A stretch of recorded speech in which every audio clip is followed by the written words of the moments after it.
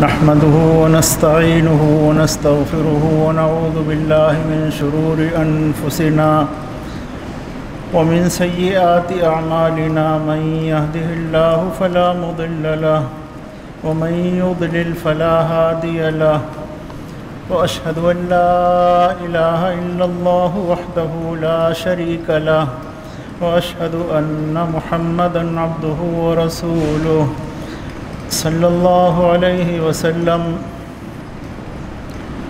अम्मा बाद फ़ैन खैरुल हदीस किताबुल्लाह हदी हदी मुहम्मदिन सल्लल्लाहु अलैहि वसल्लम। व शर्रुल उमूरि मुहदसातुहा फ़इन्न कुल्ल मुहदसतिन बिदअह व कुल्ल बिदअतिन दलालह व कुल्ल दलालतिन फिन्नार। तमाम तारीफ़ें अल्लाह रब्बुल आलमीन ही के लिए हैं। और बेशुमार दरुद सलाम नाजिल हों अल्लाह के नबी जनाब मोहम्मद रसूलुल्लाह पर और आपके आलो पर और आपके मुतबीन पर। चौदह सौ बयालीस हिजरी ख़त्म हुआ और चौदह सौ तैंतालीस हिजरी का आगाज़ हो चुका है।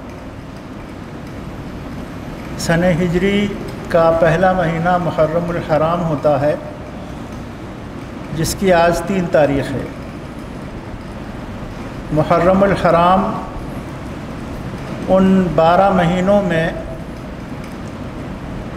से एक महीना है जो हरमत वाले महीने हैं।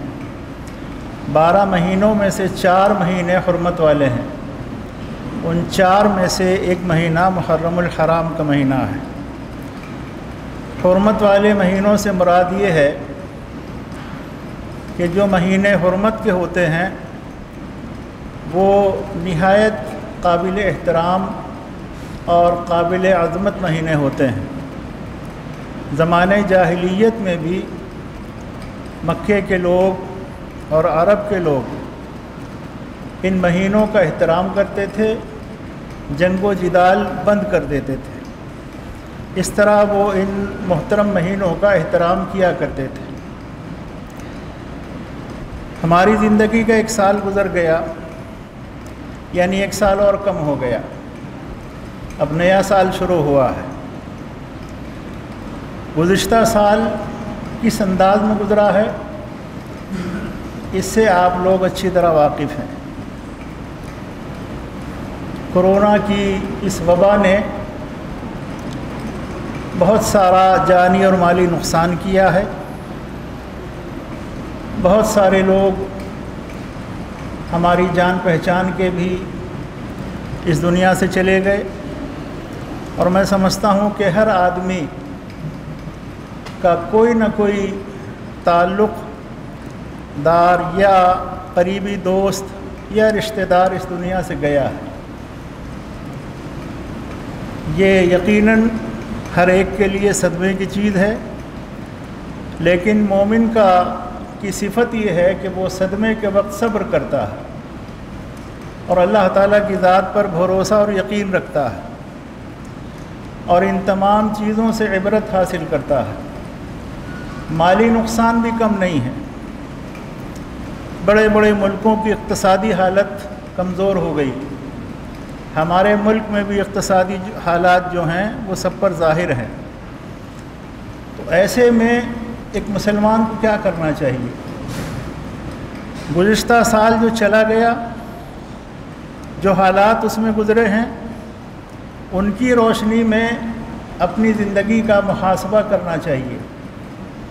गुज़रे हुए हालात से सबक सीखना चाहिए। इबरत हासिल करनी चाहिए। नसीहत हासिल करनी चाहिए। और जो आने वाला साल है, जो शुरू हो चुका है, उसमें हमें अपनी ज़िंदगी के तमाम मामलात की प्लानिंग करनी चाहिए। जायज़ा लेना चाहिए। हाल का जायज़ा लें कि मौजूदा वक्त में हम किस तरह ज़िंदगी गुजारें। हमारा दीन, हमारी शरीयत, किताब व सुन्नत हमें किस तरह ज़िंदगी गुजारने की तालीम देते हैं? हमें क्या सिखाया गया है? हमारी किस अंदाज में तरबियत की गई है? और क्या तालीमात हमारे लिए हैं? उन सबको हमें अपने सामने रखना चाहिए। मुसलमानों के लिए बड़े चैलेंजेस हैं। और ख़ास तौर पर हमारे इस मुल्क में जो हालात हैं, वो भी किसी से ढके छुपे नहीं हैं। इन हालात में जो चैलेंजेस हैं, उनका मुकाबला करने के लिए, उनको फेस करने के लिए, और एक मुसलमान किस तरह से मसाइब व मुश्किल का सामना करता है, उसकी रोशनी में हमें प्लानिंग करनी चाहिए, मंसूबा बनाना चाहिए, और इस ज़िंदगी को यूँ ही बेकार नहीं गुजारना चाहिए। हमारी ये ज़िंदगी जो अल्लाह ने हमें अता की है, जब तक भी इस दुनिया में हमें रहना है एक अच्छे मुसलमान बनकर रहना है। एक बाकिरदार बाखलाक और सही लकीदा मुसलमान बनकर रहना है। सबसे पहले हमें जो अपना जायज़ा लेना है, वो अपने अकायद का है। हमारे अकायद दुरुस्त हैं कि नहीं? शिरक बिदात से पाक हैं कि नहीं? इस पर हमें ख़ास तौर पर तवज्जो देने की ज़रूरत है। क्यों? कि आज सोशल मीडिया के ज़रिए बहुत बड़े पैमाने पर शिरक फैलाया जा रहा है। बहुत बड़ी मनसूबाबंदी के तहत बिदात फैलाई जा रही है। इस्लाम की एक ऐसी शक्ल पेश की जा रही है जो हकीकत में इस्लाम नहीं है तो हमें इन सारी चीज़ों को अपने सामने रखना है। और दुनिया में जितने वसाइल हैं, जितने भी वसाइल हमें मुहैया हैं, उन वसाइल का इस्तेमाल करना है सही अकीदे को फैलाने के लिए। इस्लाम की सही सूरत पेश करने के लिए, इस्लाम की सही तस्वीर पेश करने के लिए हमें उन तमाम वसाइल का इस्तेमाल करना है। और दुआ भी करनी है। खैर आफ़ियत की दुआ, भलाई की दुआ, सेहत व आफ़ियत की दुआ, और दीन पर कायम रहने की दुआ। ये दुआ भी हम बराबर अपने लिए और हर एक के लिए करते रहें। कौम फ़िरौन का एक शख्स जो ईमान ले आया था, ईमान लाने के बाद उसने अपनी कौम को ख़िताब किया। कुरान करीम ने उसको बयान किया है, या कौम इन नमा दुनिया मता, व इन आखिरत ही दारुलक़रार अल्लाह अकबर। कौम फ़रौन का एक आदमी मुसलमान होता है, इस्लाम कबूल करता है वो अपनी कौम से कहता है मेरी कौम, ये दुनिया की ज़िंदगी बस एक फ़ायदा उठाने की चीज़ है। दुनिया की ज़िंदगी मता है, फ़ायदा उठाने की चीज़ है, चंद रोज़ा है। व इन आखिरत या दारुलक़रार और हमेशा रहने की जगह तो आखरत का, आखरत है। आखरत हमेशगी का मकाम है। व इन आखिरत या दारुलक़रार हमेशगी का जो घर है, वो आखरत का है। इसलिए मेरे भाइयों, हम हाल में जब तक ज़िंदा हैं, उसके लिए तैयारी करें कि हमारी ज़िंदगी बेहतर से बेहतर हो, एक अच्छे मुसलमान की ज़िंदगी हो, और उसी के साथ हम आखरत की तैयारी करें। वो आखरत का दिन, जिस दिन अल्लाह रब्बुल तमाम आमाल हमारे सामने ले आएगा। फ़मयामल मितकाल दर्रतिन खैर यरा जिसने ज़र्रे के बराबर नेकी की होगी, वो भी सामने लाई जाएगी।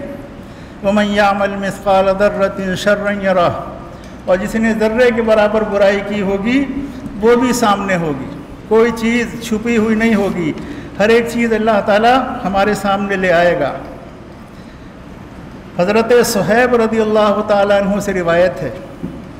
सही मुस्लिम में सात हज़ार पाँच सौ नंबर पर यह हदीस है। काल रसूलुल्लाह सल्लल्लाहु अलैहि वसल्लम अजबन लिअमरिल इन अमरहु कुल्लहु खैर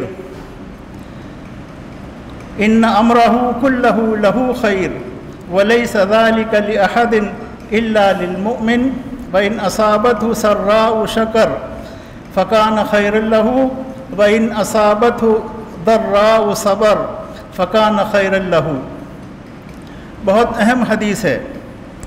फरमाया नबी करीम सल्लल्लाहु अलैहि वसल्लम ने, मोमिन का मामला बड़ा अजीब है। उसका हर मामला उसके लिए भलाई का है। और ये बात मोमिन के सिवा किसी और को मैसर नहीं। उसे खुशी और खुशहाली मिलती है तो शुक्र करता है। खुशहाली मिलती है तो शुक्र बजा लाता है। और अगर उसे कोई नुकसान होता है, सदमा पहुँचता है तो सब्र करता है। ये उसके लिए भलाई है। यानी मोमिन हर एतबार से भलाई में है। उसे कोई नुकसान पहुँचता है तो सब्र करता है। उसे खुशी पहुँचती है तो शुक्र बजा लाता है। हर फितने का, जितने भी फितने इस वक्त रोनुमा हो रहे हैं, उनको फेस करने के लिए हमें अपने आप को तैयार करना चाहिए।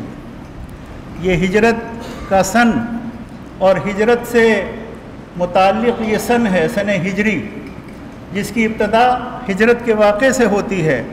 हिजरत का वाक़ अपने अंदर नहायत इनकलाबी वाक़ उसके एक एक जुस पर गौर करेंगे तो बहुत सारी चीज़ें समझ में आएँगी।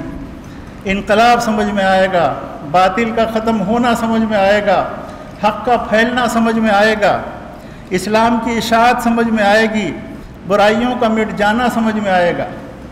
बेशुमार चीज़ें हैं जो हिजरत के वाक़े के अंदर मौजूद हैं। तो हमें हकीकी इस्लाम को लोगों के सामने पेश करना है। हकीकी इस्लाम को लोगों के सामने बयान करना है। सही अकीदे को लोगों के सामने बयान करना है। अल्लाह रबाया फ़मन कान यरजू लिक़ा रब फ़लियामल अमला सालिहा, वला युशरक बिबादत रबी ही अहदा। तो जिसे अपने रब से मुलाकात की आरज़ू है, उसे चाहिए कि नेक अमाल करे और अपने रब की इबादत में किसी को शरीक न करे। सूर कहफ की यह आखिरी आयत है। इसमें अल्लाह रब्बुल ने दो बातें बयान की हैं। पहली बात आमाल साल अच्छे अमल, नेक अमाल, किताब व सुन्नत की रोशनी में ज़िंदगी गुजारना, और दूसरा, अल्लाह की इबादत में किसी को शरीक न करना। इसी तरह अल्लाह ताला ने फरमाया, वमन यामल मिनसालिहाति वह मुमिन, फ़ला यखाफ़ुल्म वला हदमा.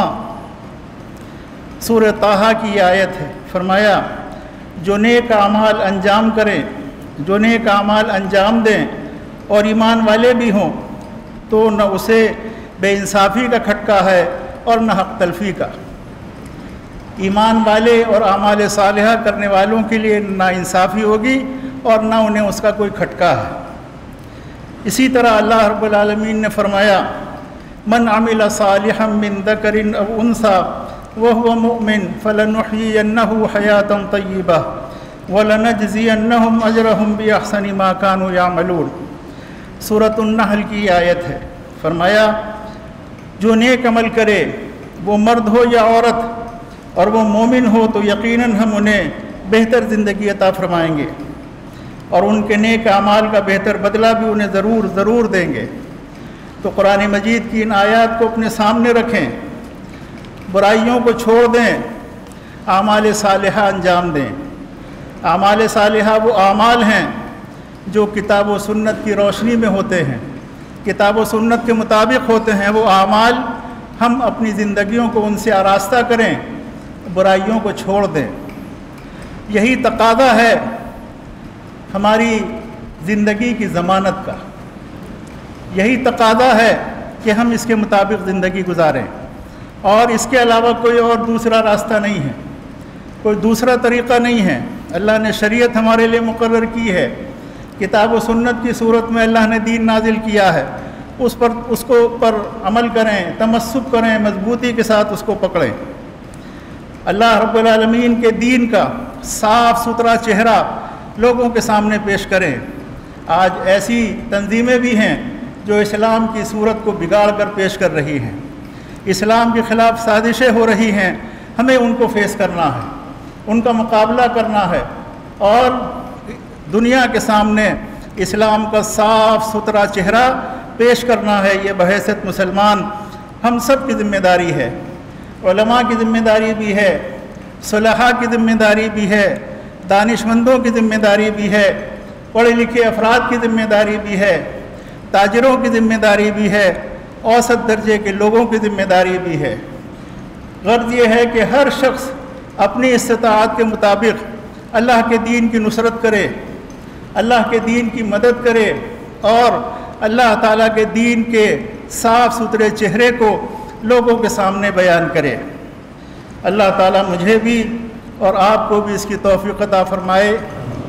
अक़ुल कौली हाजा वस्तफ़रकम वलिसाइलमसलिमिन फ़स्तफ़िरू इन्नहू हुवल गफ़ूर रहीम।